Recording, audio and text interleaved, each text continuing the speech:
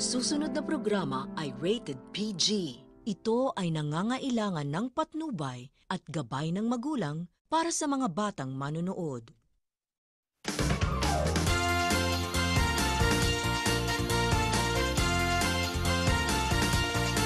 Mag-usap tayo tungkol sa kwento ng buhay Sa takbo ng iyong mundong umiikot Hanapin natin mga sagot sa iyong tanong Kami karamay tawanan, iyakan. Intriga at chismisan Ngunit lagi mo lang tandaan.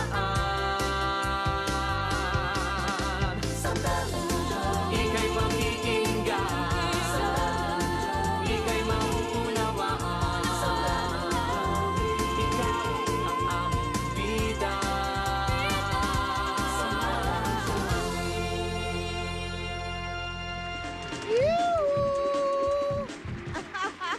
Magandang gabi, mga kapuso! Welcome po sa Mel and Joey! Isa na namang masayang kwentuhan natin namin sa inyo ngayong gabi. Una na dyan, Iba yan. Kilalanin din natin si Choli. Dating PMA cadet, naging interior designer, ngayon isang makeup artist na. Ah. Pinay-makeupan niya? ano? Mga patay!